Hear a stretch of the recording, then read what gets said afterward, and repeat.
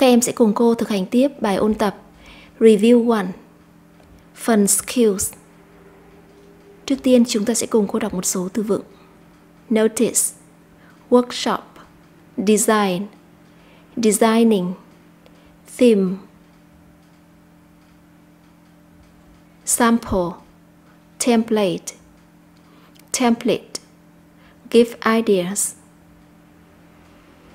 Instructor experienced, deal, dealing, counselor. Từ này chúng ta có hai cách viết và các em có thể đọc giống nhau. Priority setting, ingredient, professional, professional cook, feedback, lead, palace, spacious, confined, will, willing.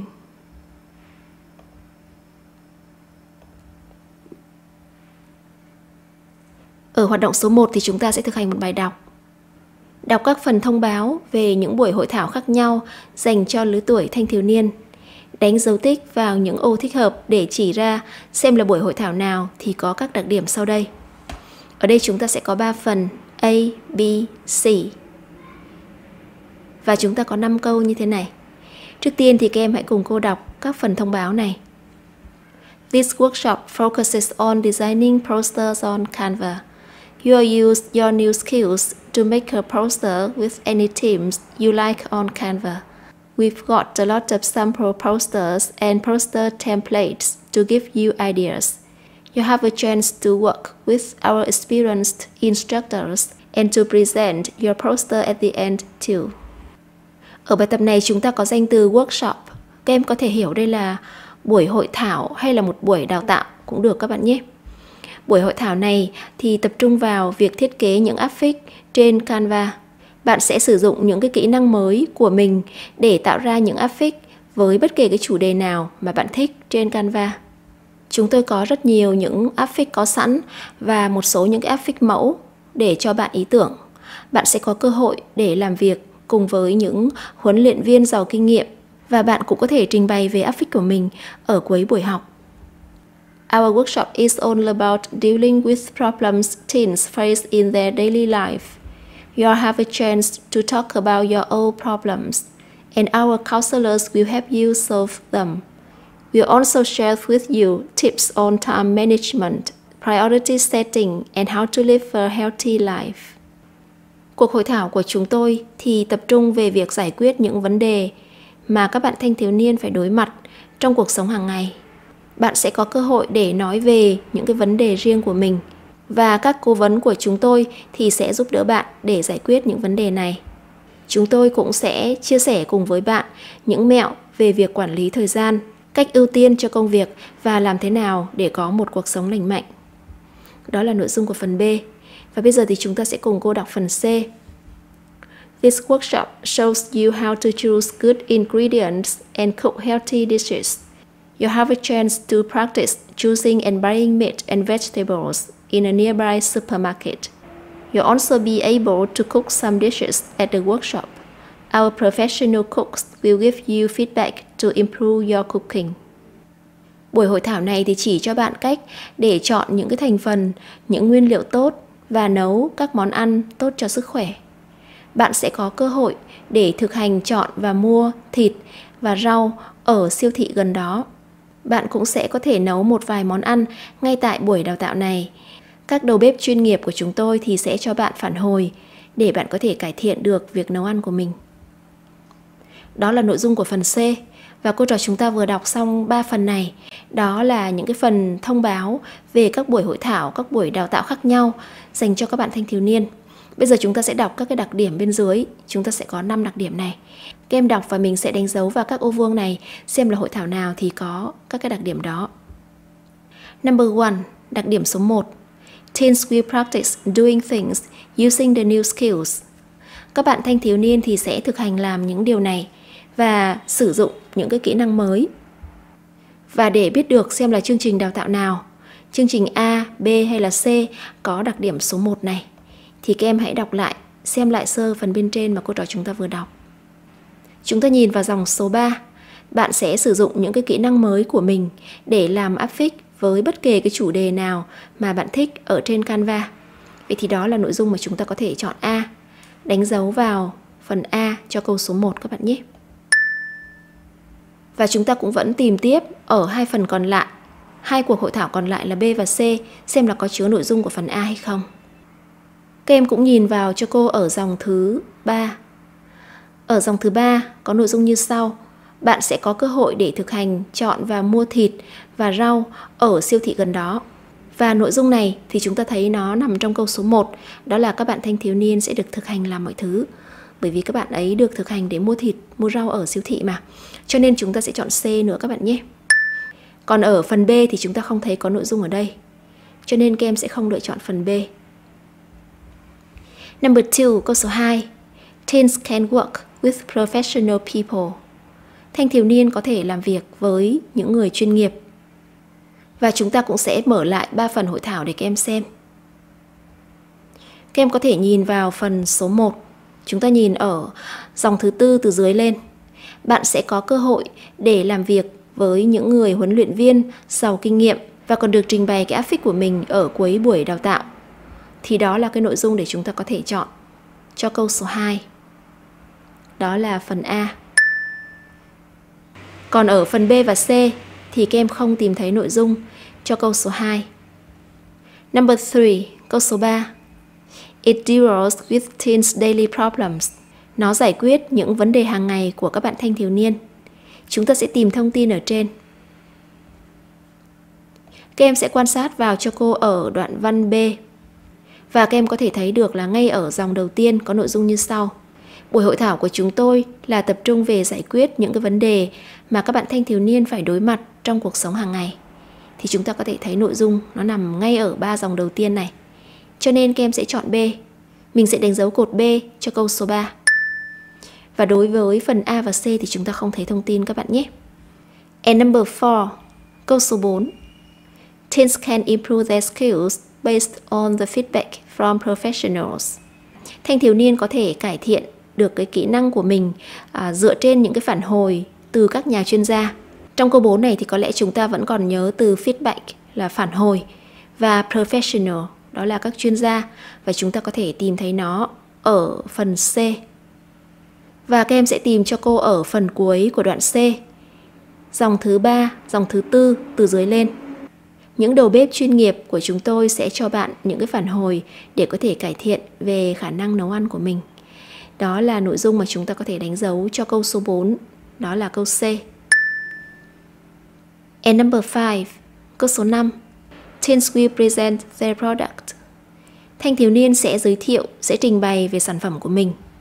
Chúng ta có thể thấy là nội dung của phần số 5 nó ở đoạn A. Chúng ta sẽ đánh dấu vào đây. Các em có thể kiểm tra thông tin ở phía trên. Và chúng ta sẽ xem cho cô ở phần cuối của đoạn A các bạn nhé. Các bạn sẽ có cơ hội để làm việc với những huấn luyện viên giàu kinh nghiệm và còn được trình bày về áp phích của mình ở cuối của buổi học. Đó là nội dung để chúng ta có thể đánh dấu cho câu số 5.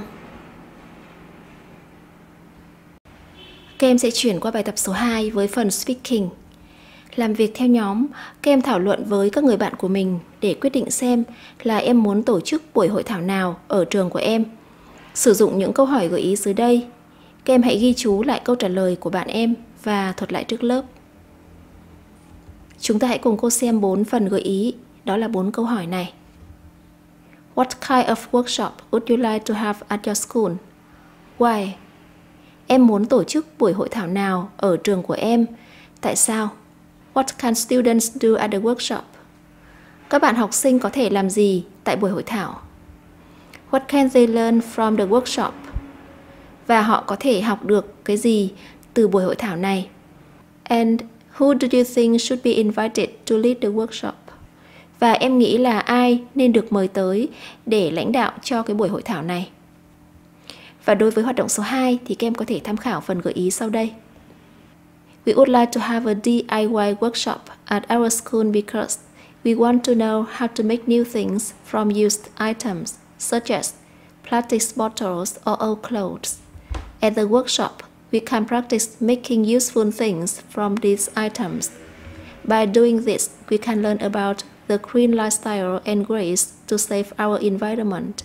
We think we should invite Ms. Mai Hương, our form teacher, to lead the workshop because she knows many creative ways to reuse old things.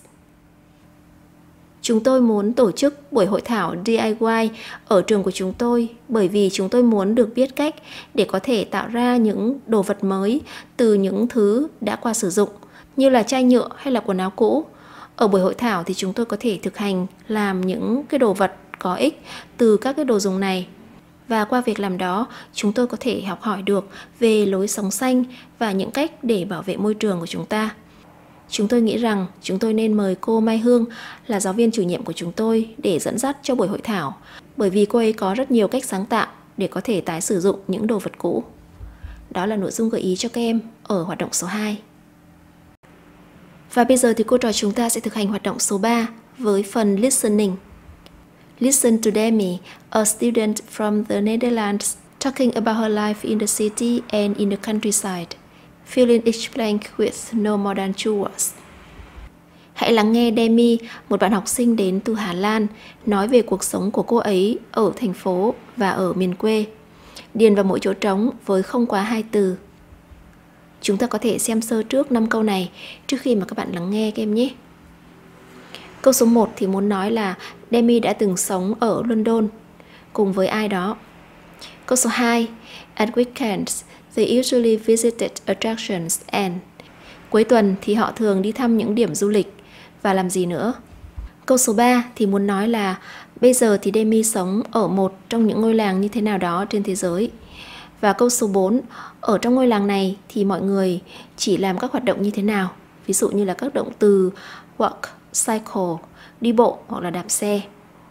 Và câu số 5, địa điểm yêu thích của cô ấy để đi thăm đó là nơi nào? Và bây giờ thì chúng ta sẽ quan sát vào bài, lắng nghe và điền vào chỗ trống cho các câu. Hello, I'm Demi, a student from the Netherlands. I used to live with my parents in London for three years before we moved back to Giethorn village in the Netherlands. Our life in London was quite interesting. There are many attractions such as the London Eye, Buckingham Palace, etc. So at weekends we could visit them. We also went to famous parks like Hyde Park to enjoy the nature. However, in this city, we experienced traffic jams and air pollution. Then we moved back to our Giethorn village. At first, I was a little bit sad, but now I really loved the life here. We live in one of the most beautiful villages in the world. Our village is special because we can only sail around, walk, or cycle. The place I like best is the museum, because there I can learn how people lived more than 100 years ago. I also love the fresh air and the people here. Các em vừa lắng nghe theo máy. Chúng ta hãy tạm dừng video để tập hoàn thành vào 5 câu này trước khi tham khảo phần nghe trên màn hình. Và đây là toàn bộ nội dung mà cô trò chúng ta vừa nghe. Hello, I'm Demi, a student from the Netherlands. I used to live with my parents in London for three years before we moved back to Chithen village in the Netherlands. Our life in London was quite interesting. There are many attractions such as the London Eye, Buckingham Palace. So at weekends, we could visit them. We also went to famous parks like Hyde Park to enjoy the nature. However, in this city, we experienced traffic jams and air pollution. Then we moved back to our Chithan village. At first, I was a little bit sad, but now I really love the life here. We live in one of the most beautiful villages in the world. Our village is special because we can only sail around, walk, or cycle. The place I like best is the museum because there I can learn how people lived more than 100 years ago. I also love the fresh air and the people here. Xin chào, tôi là Demi, một học sinh đến từ Hà Lan. Tôi đã từng sống cùng ba mẹ của mình ở London 3 năm trước khi mà chúng tôi di chuyển tới làng Giton ở Hà Lan. Cuộc sống của chúng tôi ở London rất là thú vị. có nhiều điểm tham quan du lịch như là London Eye hay là cung điện Buckingham. Bởi vậy mà vào cuối tuần thì chúng tôi thường tới đó thăm. Chúng tôi cũng đi tới những công viên nổi tiếng như là Hyde Park để tận hưởng thiên nhiên. Tuy nhiên, ở thành phố này thì chúng tôi đã từng trải qua những cái sự tắc nghẽn giao thông và ô nhiễm không khí. Sau đó thì chúng tôi di chuyển về làng Ziton. Đầu tiên, tôi cũng cảm thấy hơi buồn, nhưng bây giờ thì tôi thực sự yêu thích cuộc sống ở nơi đây. Chúng tôi sống ở một trong những ngôi làng đẹp nhất trên thế giới. Ngôi làng của chúng tôi rất đặc biệt bởi vì chúng tôi chỉ có thể chèo thuyền vòng quanh, đi bộ hoặc là đạp xe. Địa điểm mà tôi thích nhất đó là bảo tàng bởi vì ở đó tôi có thể tìm hiểu được là mọi người sống ở đó như thế nào, cách đây hơn 100 năm. Tôi cũng yêu thích bầu không khí trong lành và con người nơi đây. Đó là nội dung mà chúng ta vừa nghe. Dựa vào nội dung này thì bây giờ các em sẽ sửa bài tập số 3. Number 1. Câu số 1. Demi used to live in London for with her parents. Ở đây chúng ta sẽ để ý vào cho cô từ for. Demi thì đã từng sống ở London Ờ, ở đây là một khoảng thời gian bao lâu đó cùng với ba mẹ của mình thì chúng ta nhớ đó là cô ấy từng sống ở London cùng ba mẹ là 3 năm trước khi mà cô ấy chuyển tới ngôi làng mới. Cho nên ở vị trí này chúng ta sẽ điền cho cô là 3 years. Chúng ta có thể xem ở đây. Ngay ở câu đầu, ở phần đầu của đoạn văn. Tôi đã từng sống với ba mẹ ở London 3 năm trước khi di chuyển về làng Giton. And number two, câu số 2. At weekends, they usually visited attractions and vào cuối tuần, họ thường đến thăm những điểm du lịch và gì nữa. Thì các em nhớ trong đoạn văn thì bạn Demi có nhắc tới là công viên và cụ thể đó là Hyde Park. Và chúng ta xem ở đây. We also went to famous parks like Hyde Park to enjoy the nature. Chúng tôi cũng đi tới những công viên nổi tiếng như là Hyde Park để tận hưởng thiên nhiên. Cho nên ở câu số 3 này thì các em sẽ điền cho cô là famous parks, đó là những công viên nổi tiếng. And number 3, câu số 3. Now Demi lives in one of the villages in the world. Bây giờ thì Demi sống ở một trong những ngôi làng như thế nào?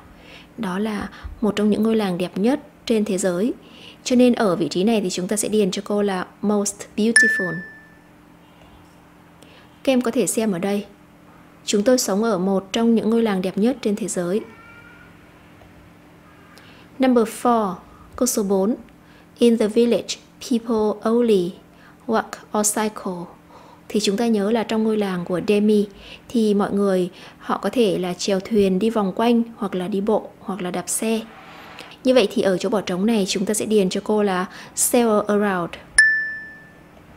Chèo thuyền đi vòng quanh. Chúng ta xem ở đây. Ngôi làng của chúng tôi rất là đặc biệt bởi vì chúng tôi chỉ có thể là chèo thuyền đi vòng quanh, đi bộ hoặc là đạp xe. And number 5, câu số 5. Her favorite place of interest is the Địa điểm yêu thích của cô ấy là thì chúng ta nhớ là cô ấy thích tới viện bảo tàng bởi vì là khi tới đó thì cô ấy có thể à, tìm hiểu về cuộc sống của người dân ở đó cách đó tới hơn 100 năm. Phần này xuất hiện ở cuối đoạn văn đúng không các em? Cho nên vị trí bỏ trống này chúng ta sẽ điền cho cô là museum, bảo tàng. Chúng ta xem ở đây. Địa điểm tôi thích nhất là bảo tàng bởi vì ở đó thì tôi có thể tìm hiểu xem là mọi người sống như thế nào cách đây hơn 100 năm và tôi cũng yêu thích bầu không khí trong lành và con người ở nơi đây. Đó là lý do để chúng ta có thể điền danh từ museum vào câu số 5. Chúng ta sẽ thực hành hoạt động viết phần writing ở bài tập số 4. Viết một đoạn văn khoảng 100 từ về ba điều mà em tự hào về cộng đồng của mình. Em có thể sử dụng những câu hỏi gợi ý dưới đây. Chúng ta có hai câu hỏi gợi ý như thế này. What are the three things that make you proud of your community? Ba điều mà làm cho em tự hào về khu cộng đồng của mình đó là gì? Và câu số 2. Why does each of them make you feel proud? Tại sao mỗi trong số những điều này lại làm cho bạn cảm thấy tự hào? Và ở bài tập 4 này, chúng ta có thể tham khảo phần gợi ý sau đây. I feel proud of three things in my community. Firstly, it is spacious. There are not many people living in my community, and the streets and roads are wide. Therefore, I do not feel confined here. Secondly, my community has enough facilities for its people. Near my house, there are two small parks with sports facility for people of all ages. Also, there are good schools, hospitals, and supermarkets nearby. Thirdly, the people here are very friendly and helpful. Neighbors greet each other whenever they meet. They are also willing to help each other in difficult situations. In short, I am proud of and love living in my community. Tôi cảm thấy tự hào về ba điều ở khu cộng đồng của tôi. Đầu tiên, đó là về không gian. Không có quá nhiều người sống trong khu cộng đồng của tôi. Những con phố và đường xá thì rất là rộng rãi. Chính vì vậy mà tôi không cảm thấy bị bí bách khi sống ở đây. Và thứ hai là khu cộng đồng của tôi thì có đủ cơ sở vật chất cho người dân ở đây. Gần nhà của tôi thì có hai công viên với đầy đủ những dụng cụ thể thao cho mọi người ở mọi lứa tuổi. Hơn thế nữa thì cũng có những trường học, bệnh viện và các siêu thị tốt ở gần đây. Và điều thứ ba nữa là mọi người ở đây thì rất là thân thiện và biết giúp đỡ. Những người hàng xóm thường chào nhau bất cứ khi nào mà họ gặp gỡ. Họ cũng sẵn sàng giúp đỡ nhau trong tình huống khó khăn. Nói tóm lại thì tôi cảm thấy rất tự hào và thích sống trong khu cộng đồng của mình. Đó là gợi ý cho các em ở bài viết trong hoạt động số 4. Và như vậy là cô trò chúng ta đã hoàn thành xong bài học ngày hôm nay, phần Skills của bài ôn số 1. Hẹn gặp lại các em trong video bài học tiếp theo.